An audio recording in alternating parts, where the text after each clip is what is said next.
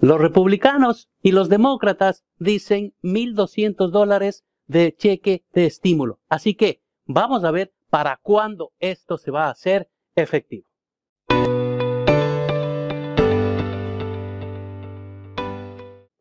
Hola, buenos días, buenas tardes. Mi nombre es Carlos Ramírez Enroleggi, licencia federal emitida por el IRS para representarlo a usted ante el mismo. El próximo paquete de estímulo se lanzó el día de ayer, 1.200 dólares de ayuda para los contribuyentes. Además, se habló sobre la reducción de el desempleo, esto por la medida de la ley HEAL por sus siglas. El Senado ha regresado ayer después de varias semanas de especulaciones sobre lo que podría estar en el próximo proyecto de ley de estímulo. Tenemos nuestros primeros signos concretos con lo que el líder del Senado, Mick McConnell, es un republicano de Kentucky, llama la ley Hill, salud, asistencia económica, protección de responsabilidad y ley de escuelas. Anteriormente se había llamado Ley Cares Act número 2 y varios senadores le han referido el proyecto como la Ley CARES 2 en sus comentarios. Para preparar el escenario, recuerde que los demócratas de la Cámara de Representantes aprobaron la ley Héroes en el mes de mayo.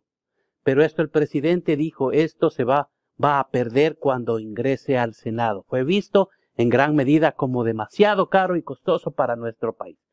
Costo, más de 3 billones de dólares.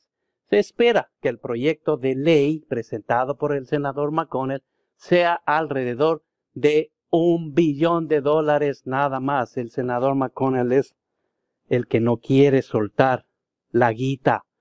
Esto en una gran brecha debe cruzar durante una breve ventana para las negociaciones. En lo que sí están de acuerdo los demócratas y los republicanos es que en el, cheque de estímulo va a ser de 1.200 dólares. ¿Cuándo llegará? Así como dice la canción, el día de mi suerte, hubo un descenso inclusive entre la Casa Blanca y los republicanos, el Senado, sobre muchos aspectos a este proyecto de ley. Por ejemplo, el presidente Trump había apoyado mucho el recorte de impuestos sobre la nómina, es decir, bajar los impuestos de los eh, salarios. Cuando usted paga le retienen un impuesto federal, el impuesto del Seguro Social y el impuesto del Medicare. Él trata de bajar el impuesto del Medicare y el impuesto que usted paga del Seguro Social. Los republicanos del Senado, preocupados por el precio del proyecto, le han insistido en que incluir tanto recorte de impuestos en la nómina como un segundo control de estímulo sería demasiado alto el costo para el gobierno. Pero en la primera semana de negociaciones parece que en un principio se ha llegado a un acuerdo que incluye especialmente las asistencias financieras a las escuelas, financiación para pruebas de rastreo que favorece a la verificación del estímulo sobre el recorte de impuestos de la nómina. Esto, sin embargo, no incluye el apoyo del Senado de los demócratas todavía. Están negociando. Yo ofrezco esto, pero a cambio de esto, la propuesta fue presentada por múltiples senadores.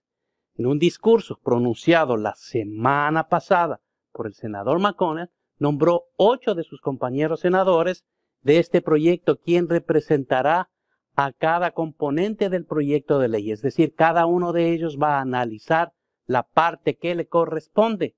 Aún no está claro cómo se va a impartir este proyecto.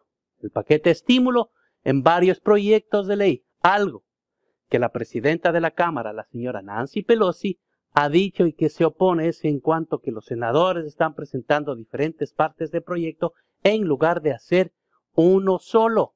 Este proyecto puede envolver y distorsionar los acontecimientos. El, presidente del Comité de Finanzas, encabezado por el señor Chuck eh, Grassley, encabezará los proyectos de la propuesta y que ocupan la ley del empleo, la economía, incluirá la, segunda ronda de estímulos.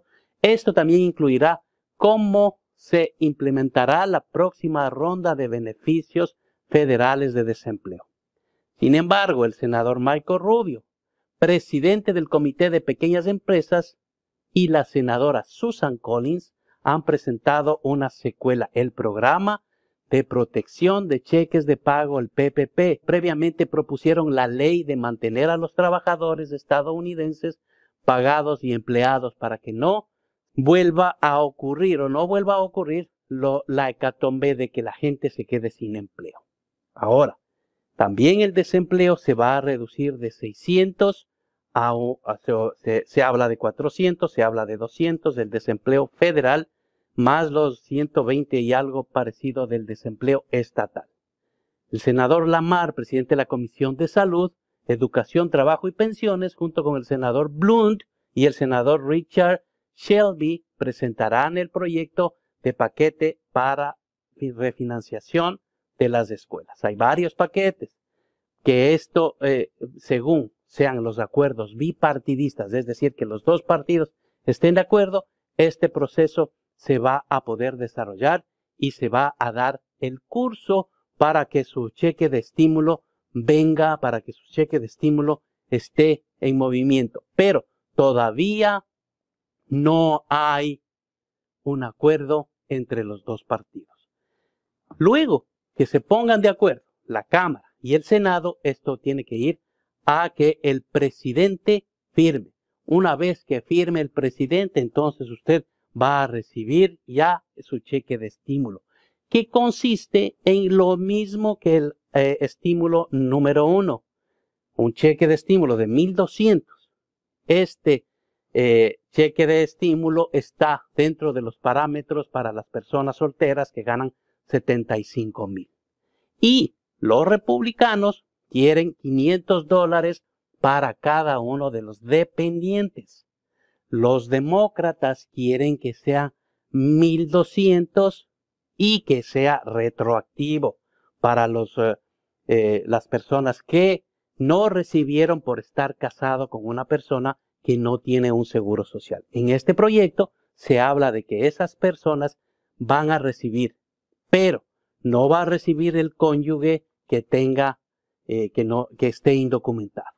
Las familias van a recibir independientemente de que con quienes se hayan casado. Los, aquí hay algo importante, los dependientes, si estos son mayores de 18 años o de 17 años pero están dentro de su declaración de impuestos, van a recibir lo que los republicanos quieren que sea 500 dólares. Es decir, todos los dependientes que estén en su declaración de impuestos van a recibir 500 dólares. Los demócratas quieren que para todos sea 1200. Papá, mamá y todos los hijos, independientemente de la edad, sean mayores o no, de 17 o de 18 años. Y los contribuyentes casados van a recibir pues hasta un ingreso de 150 mil dólares. Y aquí hay un rango de eliminación hasta llegar a cero, hasta llegar si usted se pasa de, del límite. El proyecto de ley usaría la declaración de impuestos de los contribuyentes igual que el estímulo anterior. El 2019, si no hay este, va a existir eh, van a usar el 2018. Para obtener información cómo se responderán los demócratas a esta propuesta, podemos recurrir a la, a la ley de héroes que fue aprobada por la Cámara de Representantes a mediados de mayo y determinar qué es lo que ellos propusieron en ese acto de ley, comparado con lo que ahora existe con el, eh, el, acto Hill. Entonces, la ley de héroes se, también dijo que era 1.200 dólares y que los rangos estaban entre 75 y 150 mil para casados. Ahora, se quedan por fuera todas aquellas personas que hayan hecho declaraciones de impuestos con número y TIN. Efectivamente, cuando se escriba la ley, vamos a saber si los dependientes de las personas indocumentadas que son ciudadanos estadounidenses podrían recibir el estímulo. No podemos manifestar eso siempre, eh, hasta que no se escriba la ley, hasta que no se llegue tanto a la, a, la última palabra y el presidente firme. Va, se va a rebajar los 600 dólares, ya no va a haber los 600 dólares de desempleo. Así es que es, lo mejor es regresar a trabajar para aquellas personas que tienen la oportunidad de hacerlo y que los eh, empleadores le están llamando.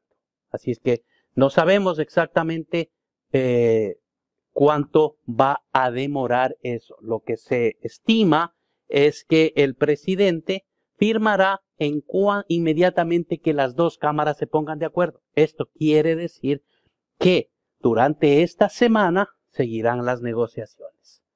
Y una vez que ellos estén de acuerdo, se irán a la firma mientras se espera que se eh, hagan los, uh, los pasos que regularmente deben hacerse para que el IRS envíe los reembolsos. Estamos de hablando Estamos hablando a partir de la tercera semana de agosto, porque ya estamos a, finales de julio. Esperamos que en los, la segunda o tercera semana de agosto usted pueda recibir el cheque de estímulo. Por favor, suscríbase a esta página, suscríbase a este grupo para que usted esté informada. Si usted es preparador de impuestos, si usted quiere aprender contabilidad, también síganos en este canal que va a tener mucha información. Muchas gracias, que tengan un bendecido día.